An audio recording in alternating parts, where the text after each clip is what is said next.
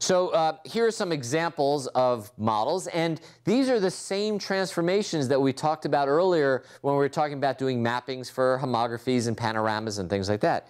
So we have a very simple, uh, so we basically go from the red to the, the green. So if we have a translation, right, so this thing just moved that way, and in a translation, how many unknowns are there? Two.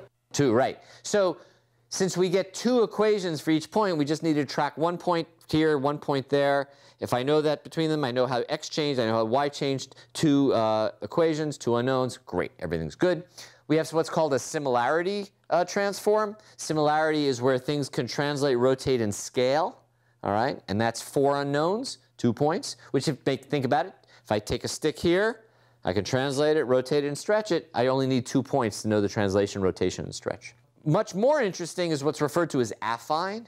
I have this uh, uh, rectangle, and when I move it, I can translate, rotate, skew, all right? And so parallel lines remain parallel, and I have six unknowns, and, and there's, we, we actually looked at the math before. One way to think about it is I take one triangle, and I map it to its corresponding triangle, and that's an affine transform. So there's six unknowns, and I can solve it with three points. And then finally, I know you're all waiting for this, right? Here it's written as perspective. We can also write this as homography. Now you're seeing why we don't have me writing anything.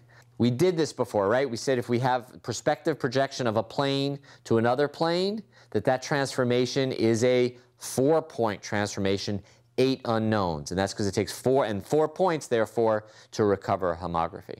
So each of these can be thought of as transformations or as motions within a region.